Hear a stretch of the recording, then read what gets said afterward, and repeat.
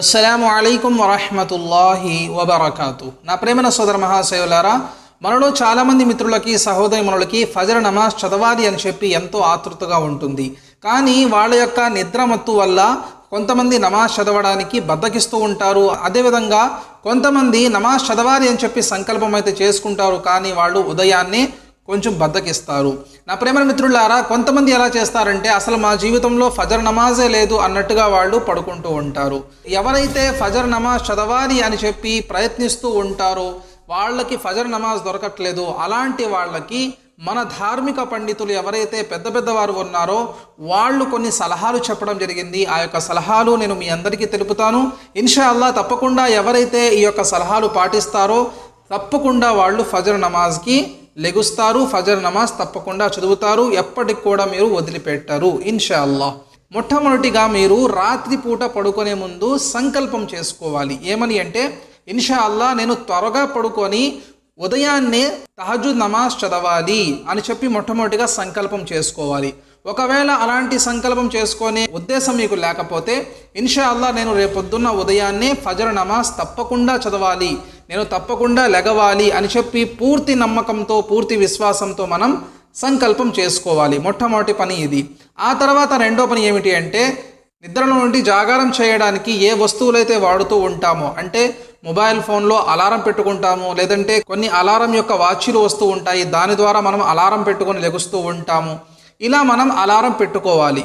ఉదాహరణకి ఫజర్ నమాజ్ ఐదింటికి అన్నప్పుడు మనం నాలుగున్నరకే అలారం పెట్టుకొని లెగవడానికి ప్రయత్నించాలి. చాలామంది ఇక్కడ ఏం చేస్తూ ఉంటారంటే మొబైల్ ఫోన్లో అలారం సెట్ చేసుకుని పెట్టుకుంటారు. పెట్టుకొని ఆ యొక్క మొబైల్ ఫోన్ని వాళ్ళ పక్కనే పెట్టుకుని పెట్టుకొని పడుకుంటారు.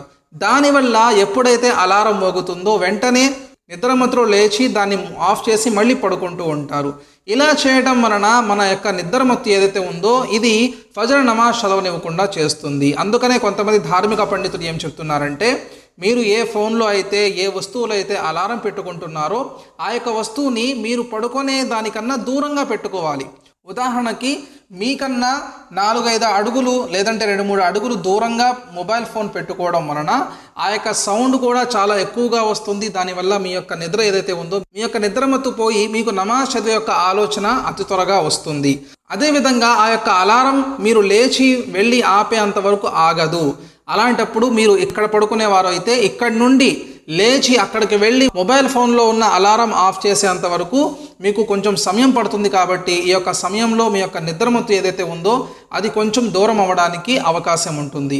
అందుకనే ధార్మిక పండితులు ఏం చెప్తున్నారంటే మీరు ఏ ఫోన్లో అయితే అలారం పెట్టుకుంటున్నారో ఏ వాచ్లో అయితే అలారం పెట్టుకుంటున్నారో ఆ యొక్క వస్తువుని దూరంగా పెట్టండి. మీరు పడుకునే ప్రదేశం నుండి దూరంగా పెట్టుకోండి. ఇన్షా అల్లా అప్పుడు మీకు నిద్రమత్తు దూరమయ్యే అవకాశం దొరుకుతుంది. అదేవిధంగా ఏ రోజు అయితే నిద్రమత్తు వలన మీరు ఫజర్ నమాజ్ వదిలేస్తారో ఏ రోజు అయితే మీ యొక్క బద్ధకం వలన ఫజర్ నమాజ్ వదిలేస్తారో ఆ రోజు మీ పైన మీరు ఏదో ఒక శిక్ష వేసుకోండి. ఉదాహరణకి ప్రతిరోజు టిఫిన్ చేసేవారు ఉంటారు. తప్పకుండా వాళ్ళు టిఫిన్ చేయాల్సిందే. టిఫిన్ చేయకపోతే వాళ్ళు తట్టుకోలేరు. అన్నవారు ఒకవేళ ఫజర్ నమాజ్ వదిలేస్తే కనుక ఆ సమయంలో మీరు మీ మీద శిక్ష వేసుకోవాలి.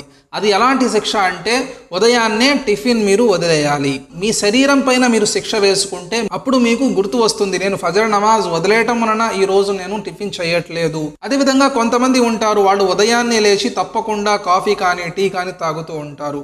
వాళ్ళు ఏ రోజైతే ఫజర్ నమాజ్ వదిలేస్తారో ఆ రోజు టీ మరియు కాఫీ మీరు ఏదైతే ఇష్టంగా తాగుతూ ఉంటారో దాన్ని దూరంగా పెట్టండి. అప్పుడు మీకు కూడా అల్లాహ్ మీద భయం కలుగుతుంది. అరే ఈ రోజు నేను ఫజర్ నమాజ్ చదవలేదు కాబట్టి ఈ రోజు నేను టిఫిన్ చేయలేకపోయాను లేదంటే కాఫీ తాగలేకపోయాను లేదంటే నేను మధ్యాహ్నం భోజనం చేయలేకపోయాను. ఎందుకు అంటే నేను ఉదయాన్నే ఫజర్ నమాజ్ చదవలేదు కాబట్టి అని చెప్పి మీరు మీ పైన శిక్ష వేసుకుంటే దానివల్ల ఇన్షా అల్లా మీరు ఫజర్ నమాజ్ చదువుతారు. తప్పకుండా చదువుతారు. నా ప్రేమ మిత్రులారా మనం ఏ పని చేసినా సరే లాభం ఉంటేనే చేస్తాము. ఫజర్ నమాజ్ చదవటం వలన ప్రవక్త మహనీయ సల్లల్లాహు అలీహి వసల్లం గారు మనకి ఎన్నో లాభాలు తెలిపారు. ప్రతి ఒక్కరు కూడా ఫజర్ నమాజ్ చదవండి. ఎవరైతే ఫజర్ నమాజ్ చదివిన తర్వాత వాళ్ళ వ్యాపారం కానివ్వండి లేదంటే ఏదన్నా పని మొదలు పెడితే ఆ యొక్క పనిలో అల్లాహ్ యొక్క సహాయం దొరుకుతుంది అని చెప్పి మనకి హదీసుల పరంగా దొరుకుతుంది. నా ప్రేమ మిత్రులారా ఇలా ఎన్నో లాభాలు మనకి ఫజర్ నమాజ్ వల్ల కలుగుతున్నాయి కాబట్టి నేను మీకు ఏ పనులైతే చెప్పి చెప్పానో ఈ మూడు పనులు కూడా మీ యొక్క జీవితంలో తెచ్చుకోండి. ఇన్షా అల్లా తప్పకుండా మీరు ఫజర్ నమాజ్ వదిలిపెట్టరు. ఇలా చేయడం వలన మీకు కూడా కొంచెం జ్ఞానం కలుగుతుంది. అదేవిధంగా అల్లాహ్ దృష్టిలో కూడా మీరు ఉన్నతమైన స్థానంలో ఉంటారు. ప్రతి ఒక్కరు కూడా ఈ యొక్క విషయాన్ని గమనించండి. ఎవరైతే ఫజర్ నమాజ్కి లేవలేకపోతున్నాము అని చెప్పి బాధపడుతున్నారో అలాంటి వారికి కూడా ఈ యొక్క వీడియోని షేర్ చేయండి. అల్లాహు ఆడమనందరికీ మనందరికీ చెప్పే కన్నా వినే కన్నా ఎక్కువగా ఆచరించే యొక్క మహాభాగ్యాన్ని ప్రసాదించుగాక. آمين وآخر دعوانا أن الحمد لله رب العالمين.